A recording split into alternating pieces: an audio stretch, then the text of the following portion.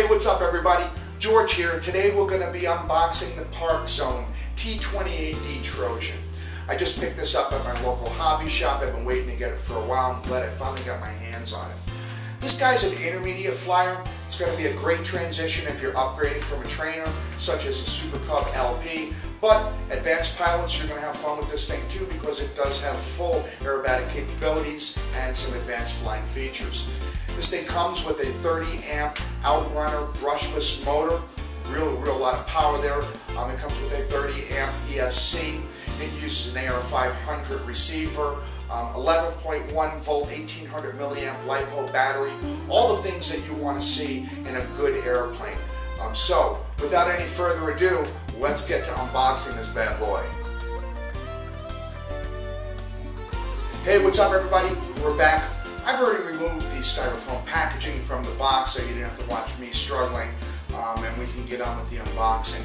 The first thing that you're going to notice is an ominous hole down here. That's where the transmitter would be, but since this is the bind and fly version, it doesn't come with the transmitter. I'll be binding this to my DX6i and flying with that. Um, the very first thing I want to say about it is the amazing job on packaging that they did. As we start unboxing, you're going to see that they put in keyed supports, they've really packaged it well. They took a lot of time to make sure that this thing arrived on your doorstep in pristine condition. So let's go ahead and get on with the unboxing. Um, the first thing I'm going to do is take out these struts. These are keyed struts. Amazing the amount of thought that they put in to making sure that you've got this in excellent condition. There's three struts that are holding everything in place here. I'll go ahead and remove all three of these and we can get on with the unboxing. First thing that we're going to take out of the box is the wing assembly.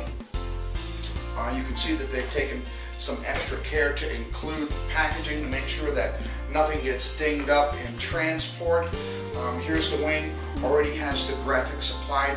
You'll notice this is a gray. The original uh, T28 came in a white navy theme, and uh, this is the T28D. This one comes in a gray Air Force theme. Um, you can see that they have the uh, wires for the servos are ready for you to uh, install. On the bottom half of the wing, servos are both already installed, all the linkages installed, and it actually appears to be pretty trimmed out right out of the box. They also have little plastic supports here where your landing gear will go. This uses a tricycle type landing gear with a um, steerable nose wheel, so this is going to be a little bit different. The next thing we'll take out is the fuselage. And the first thing that I notice is this thing is pretty, large. Uh, compared to the Super Cub LP, uh, it's very, very thick. Um, it does have uh, that 30 amp Outrunner brushless motor and a nice cowl with uh, some, uh, some detail in the front. Everything is already installed for us. We can see we have the battery leads coming out here, um, the motors up front, uh, servos are already installed, and you will see that they do have a linkage that does go up to the front, and that's for the steerable nose wheel. Looks like a really nice job on the detail, on the painting. Uh, everything appears to be in very, very good condition.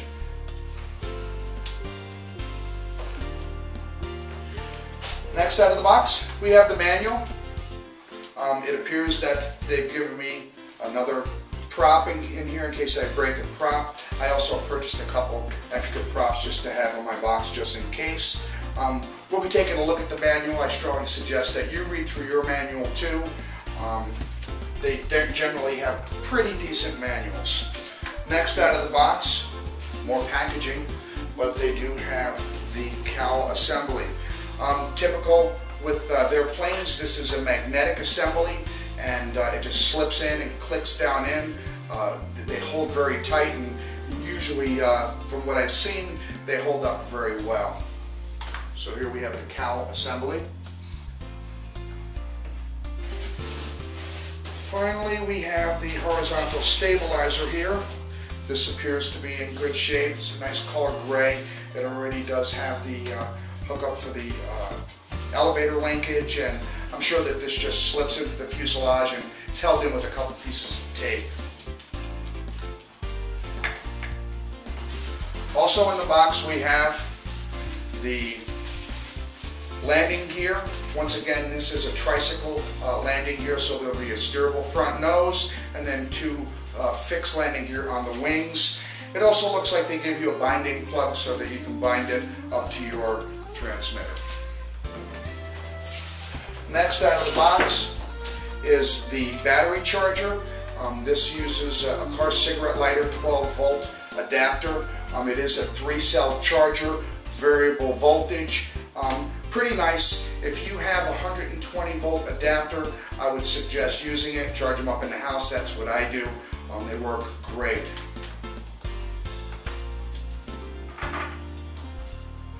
Finally out of the box is the battery. This is an 11.1 volt 1800 milliamp LiPo. Um, this is going to give it plenty of flight time, plenty of power for uh, those aerobatics once we start flying them. And um, I also bought a spare so I can uh, fly two batteries when I go out at least. And that's pretty much everything that's in the box. Um, we'll be doing another video. The next video is going to be a combined assembly and maiden flight. It really doesn't look like there's going to be much to the assembly, so we'll be able to dedicate more time for the maiden flight. So listen everybody, thanks for watching. Stay tuned for the next video. Wait, we'll be taking it right up in the air.